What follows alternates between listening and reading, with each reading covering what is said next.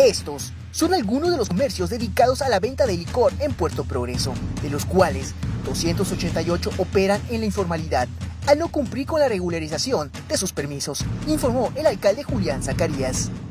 El presidente municipal dijo que de un aproximado de 328 establecimientos, solo 40 han ocurrido a regularizar su documentación, lo cual arroja 288 restaurantes que se oponen a respetar la ley.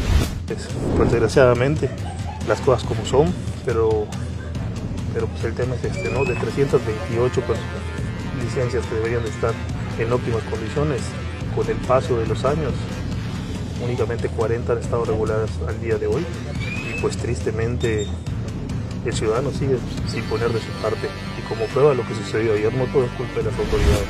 Finalmente, el presidente municipal de Puerto Progreso, Julián Zacarías, exhortó a los comerciantes y propietarios de establecimientos mercantiles a regularizar la operación de sus negocios a la brevedad, ya que acontecimientos trágicos como el que ocurrió este domingo no deben repetirse en algún futuro.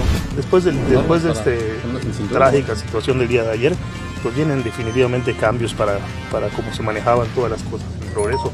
Hay que considerar que son cinco meses apenas recuperando un desorden, pero lo mismo sucede, es exactamente lo mismo cuando te refieres a, a querer hacer un trabajo coordinado con los artesanos o con los ambulantes o con los taxistas o con los locatarios.